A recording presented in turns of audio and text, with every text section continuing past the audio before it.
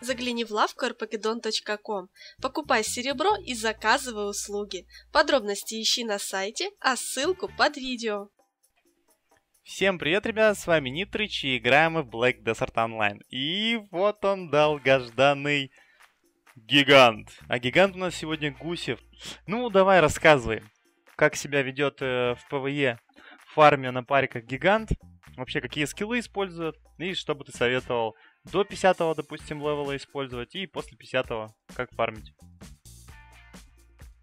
Ну, в общем, тема такая, что, собственно, есть скилл, который называется удар головой, и я так подозреваю, большинство гигантов его недооценивает.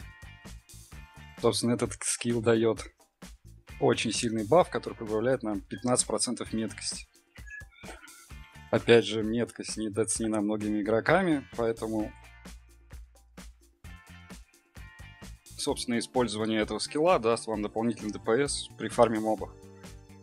Второй скилл, который используется на фарме мобов, это два топора в землю, который тоже в свою очередь дает нам баф на урон.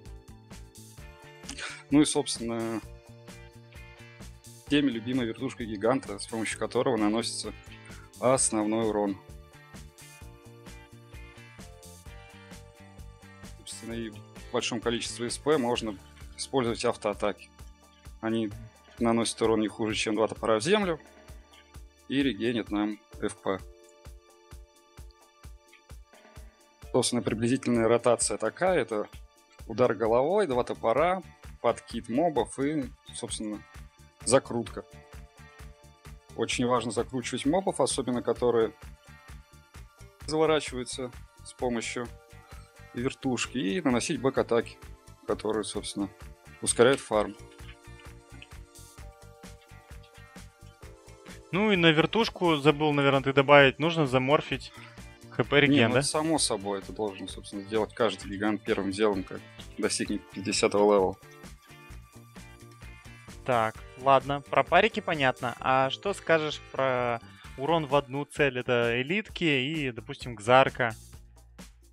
Ну, с боссами вообще гиганту просто. Крутиться бэк-атаками. Если не жалко, собственно, банок на FP просовывать. Колесо, особенно если есть большое количество атаки. Колесо очень сильно скалируется от урона который есть на гиганте. То есть чем больше урона, тем больше колесо ебошит.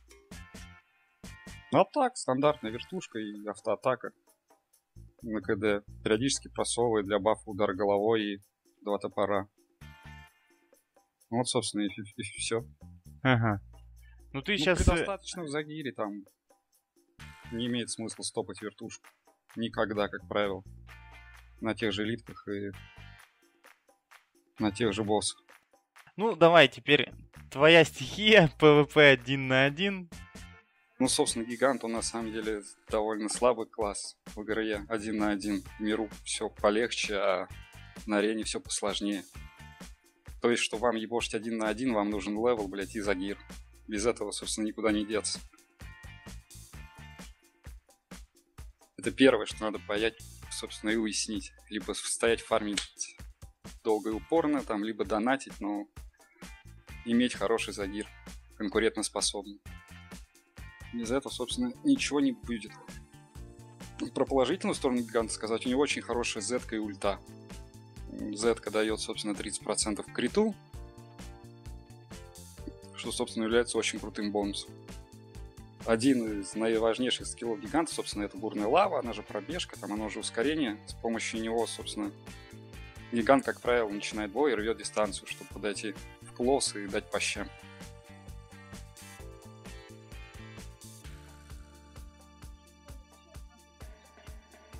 Ну, немаловажный скилл топа, с помощью которого после этой пробежки стопается цель. Потом идет захват по оглушенной цели, она падает, подбрасывается, мы вертим вертушку и забираем цель. Это, собственно, азы игры за гиганта вертушка через подброс и с помощью этой комбы убивается, как правило, большинство целей.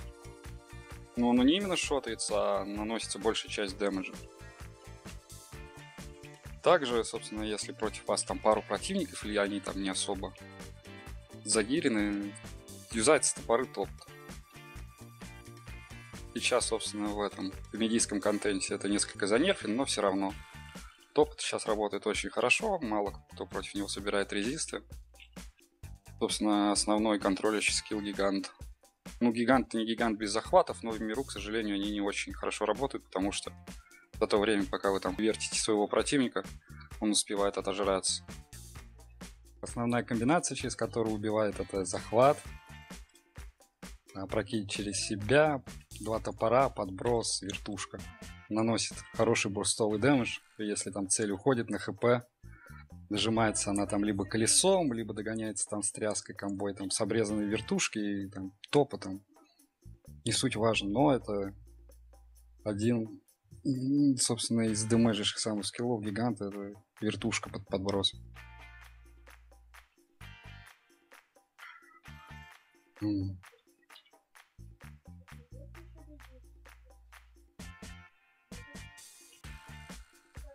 Собственно, повторюсь, при хорошей атаке неплохо работает колесо, которое всегда может закрываться в комбе топотом для подконтроливания цели. Вот. Прям в лицо можно закрутить на хороший урон. Расскажи, пожалуйста, твои первоначальные задачи и вообще, как ты действуешь в массовом PvP, вот, допустим, на замке там мы деремся. Что из себя представляет гигант? Ну, собственно, гигант это ну, контроль в первую очередь, и во вторую очередь это, естественно, дамаг. В основном я пытаюсь сдать контроль и при удачном стечении обстоятельств, если я вижу, что там кого-то законтролили, сам задамагать. Mass PvP это все намного проще, чем один на один. Но основной skill для mass PvP это, естественно, топот. AOE скилл, который вешает кучу дебафов и дает контроль. Собственно, комбы с ними это там два топора топот, колесо топот, обрезанная вертушка топот. Вот, собственно, миксую эти комбы. Вы находитесь в центре вражеского рейда и контролируете основные массы противников. Как-то так. Ну и гиганты еще выступают как щит, да, для тех же самых там лучников, и 40. Ну, это все ситуативно, это как обговорено заранее.